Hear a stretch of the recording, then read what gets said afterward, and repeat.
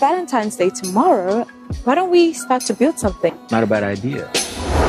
Heavenly Father, I know that I have not come to you in a while.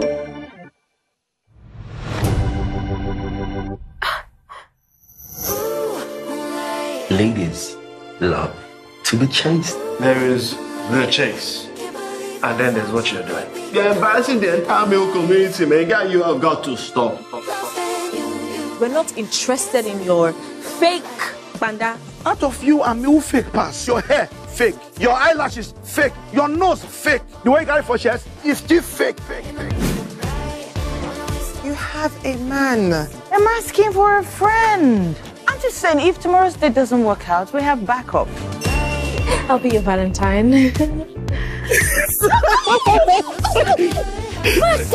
Slow down now. Still need to put a bit of pressure on them, you know, just so they rise to the occasion. When people like us are talking, I beg, don't involve yourself. What does that mean? Don't act like you don't know that there's so many women out there that would kill to have a man like your husband. Ah, no, I will not kill you. I will not kill in the name of Jesus. Do you have plans for tomorrow or do you want me to hook you up? Thank you, darling, but I have a girlfriend. yes, I'm sorry. I do. As in a girl. A real girl. No, as in an actual real goat. I'm the one thing your record label is missing out on. Oh, really? Yeah, hello? your phone did not even ring. As soon as I give him some of my sugar, baby, he'll be addicted. Sugar! Nkechi